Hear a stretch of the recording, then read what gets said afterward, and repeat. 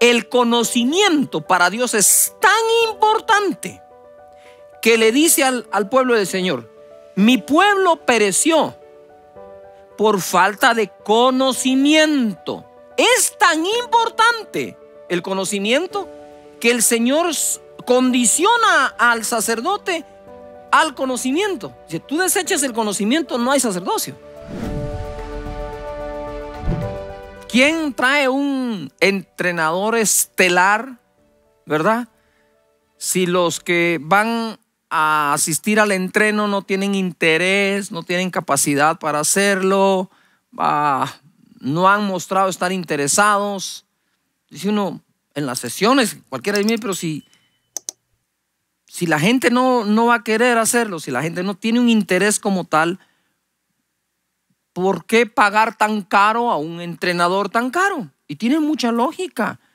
Entonces, para un buen maestro, buenos alumnos. Jesús, nuestro Señor y Salvador, vino a salvarnos. Él es el Cordero de Dios que quita el pecado del mundo, pero entre otras cosas vino a enseñarnos también, como un buen maestro. Si Él es un buen maestro, tú y yo seamos buenos alumnos para Él. Los traumas que podamos tener causados durante nuestro proceso de aprendizaje y estudios, solemos nosotros traerlos delante de nuestro Señor como maestro. ¿Cómo así? ¿Se recuerdan? Acabo de enseñar acerca de Nicodemo. Nicodemo hizo una pregunta a Jesús y le dijo, ¿puede acaso el hombre siendo viejo volver a nacer o volver a entrar en el vientre de su madre?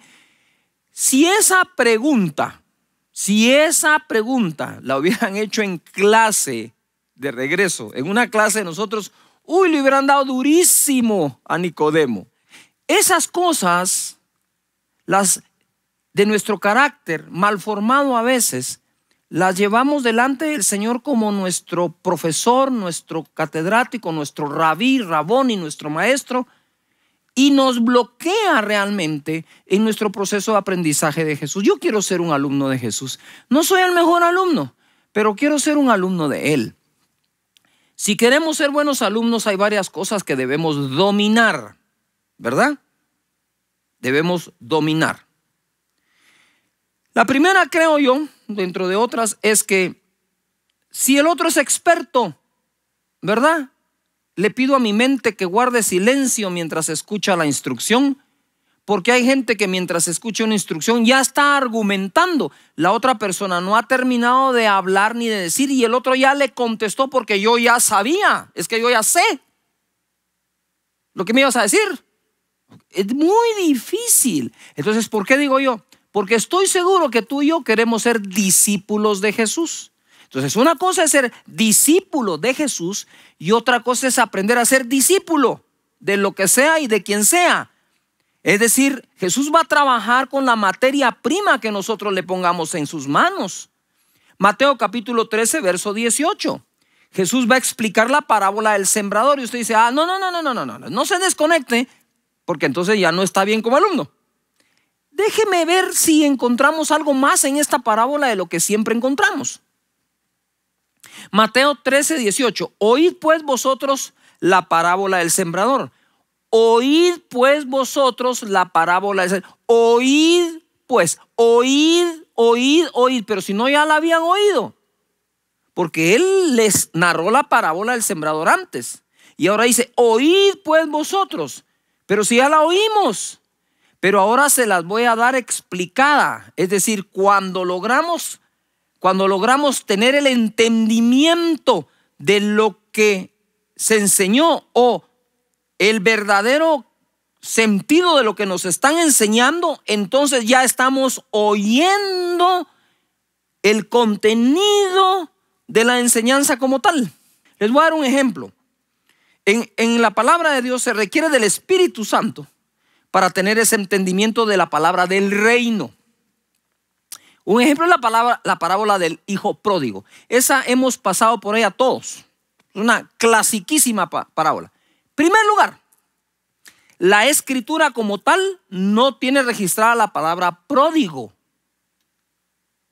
Parábola del hijo pródigo es un título que el que diagramó y estructuró para imprimir esa Biblia, en esa versión le puso parábola del hijo pródigo.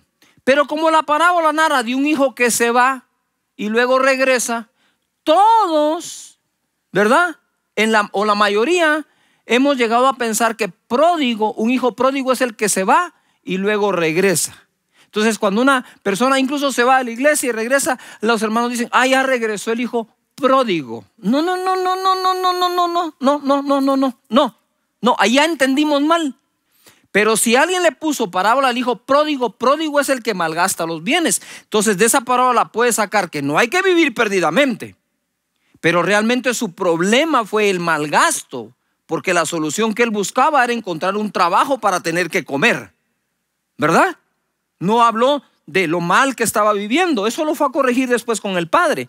Y cuando regresa le dice, hazme uno de tus jornaleros. ¿Por qué? Simplemente porque él era un hijo que no sabía trabajar. Y al no saber trabajar no hay herencia que aguante. Se va a acabar. Cualquier tipo de herencia que uno reciba, si uno no sabe trabajar, con respecto a lo que recibió de herencia, la va a malgastar, se va a perder. Bueno, tal vez no malgastar, pero la puede perder sin necesidad de malgastar. Pero se va a perder por falta de sabiduría en el tema. Entonces, ese es un ejemplo de la gente, de nosotros, cuando no tenemos el entendimiento, viene el maligno y se la roba, ya no queda la palabra. Entonces, queriéndonos enseñar el Espíritu Santo de no malgastes, nosotros nos vamos de que es irse y regresar. Yuhu. Entonces nosotros vamos teniendo cuidado ahí. Como digo yo, no es una gran revelación, es leer un poco mejor. Después dice que recibe con gozo la palabra, esa es una emoción. Pero venida la persecución y la aflicción tropieza. Dos tipos de emoción. Cuando tiene gozo, wow. Pero cuando viene aflicción, chao. Entonces el buen alumno maneja el entendimiento, el buen alumno maneja correctamente las emociones que le pueden ayudar o impedir a adquirir el conocimiento de parte de nuestro Maestro, el Señor Jesucristo. ¿Mm? Entonces, cuando las emociones están muy altas, tienen mucha espuma. Entonces, es importante lo hacen los deportistas. Los mejores deportistas profesionales del mundo tienen una cosa en común. Fortaleza mental, seguridad en ellos mismos, que a veces parece hasta arrogancia. Y la tercera, ellos tienen un dominio de las emociones. Como dicen los amigos en broma, ponen cara de jugador de póker. Les hacen un punto y demuestran como que no se los hicieron. Hacen un punto y demuestran como que... Y se mantienen, digo yo, hoy qué manera de mantener esas emociones donde deben para poder competir. Igual. Y lo tercero, el afán de la vida y el engaño de la riqueza. ¿Verdad? El buen alumno, el buen alumno, el que, se, el que quiere graduar de la universidad, ¿verdad? A mí me tocaba trabajar de 7 de la mañana a 5 de la tarde, ir a la universidad de 6 de la tarde a 9 de la noche, recibir clases privadas de economía y finanzas, más o menos de 10 y media, 11 de la noche hasta las 12, 12 y media. Dormía 5 horas diarias, ¿verdad? Pero en momentos decía, no, hay tanto trabajo, tengo tanto trabajo que mejor ya no estudio. No, no, no, le tenía que hacer gana a las dos. ¿Verdad? Y cuando nosotros estamos ahí, ah, sí, Señor, mire, hay una cosa que quisiera decir aquí.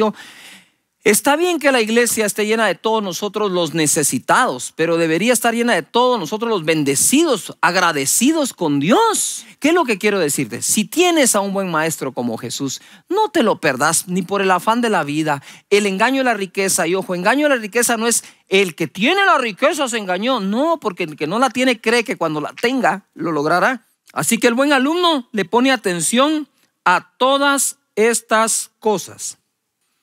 Oseas capítulo 4, verso 6. Mi pueblo fue destruido porque le faltó conocimiento. Por cuanto desechaste el conocimiento, yo te echaré del sacerdocio y porque olvidaste la ley de tu Dios, también yo me olvidaré de tus hijos. El conocimiento para Dios es tan importante que le dice al, pueblo del Señor, Mi pueblo pereció por falta de conocimiento, no por falta de emociones ni gritos de júbilo. ¿Por falta de qué? Conocimiento. Y luego dice, por cuanto desechaste el conocimiento, yo te echaré del sacerdocio. Es tan importante el conocimiento que el Señor condiciona al sacerdote al conocimiento. Si tú desechas el conocimiento, no hay sacerdocio. ¡Wow! ¿Qué es lo que quiero decir? Le puse pie aquí a algo. Para hacerte saber que el conocimiento para Dios es súper importante. Su espíritu, el espíritu de conocimiento, de sabiduría, de entendimiento. Quiero que veas este cuadro. Jesús está sanando enfermos. Enfermos que tienen plagas caen sobre él y sanan se levantan, leprosos son limpios, muertos son resucitados. Ese es un gran día. Si yo estuviera ahí, estoy con los ojos así, con la boca que se me cae, asombrado, codeando al que está a la par. ¿Ya viste eso? Tiene que ser Dios. Y de repente pasa Jesús y te dice, hey tú, tú, sí, tú, yo, tú, vení. No, yo estoy bien, no estoy enfermo, no me van a tirar mucha, estoy bien. No, no, no. Quiero que vengas a pasar un tiempo conmigo porque te voy a enseñar y además te voy a dar autoridad para sanar enfermos. En ese momento, ¡pum! El recuerdo de lo que acabas de vivir acá mañana viene. Enfermos. Ven, yo te voy a enseñar cómo. Que vengas, te digo, ¿querés aprender o no? Sí, sí, ahorita voy, ya voy, sí, seguro. Jesús enseñaba inspirando, ojo acá, y Jesús daba enseñanzas que eran aspiracionales también. ¿Ah? Aspiracional. Ah, yo quisiera, yo quiero, me gustaría tanto. Y de pronto Jesús te dice, yo te puedo enseñar también. Wow. Yo quiero orar por ustedes y bendecirlos en esta oportunidad. Padre, muchas gracias por este tiempo lindo que me has dado. Que cada uno de nosotros desarrollemos, Señor, un mayor aprendizaje y conocimiento de parte de nuestro Maestro Jesús, que es nuestro Salvador y Señor, pero además es Maestro también. Muchas gracias en el nombre de Jesús. Te pido que bendigas a cada persona, que no les falte trabajo, Señor, y que todos los sueños que tienen espirituales, mentales, físicos y materiales se lleguen a cumplir, pero tomados de tu mano, tomados de tu reinado y tomados de tu palabra. En el nombre de Jesús, muchas gracias, Señor. Amén. ¿Sabías que puedes ver este video y otros dentro de nuestro canal de YouTube? Nada más recuerda suscribirte a nuestro canal y activar la campanita para que te puedan llegar las notificaciones cada vez que cargamos un video nuevo y puedas ser el primero en verlo y disfrutar de todo nuestro contenido.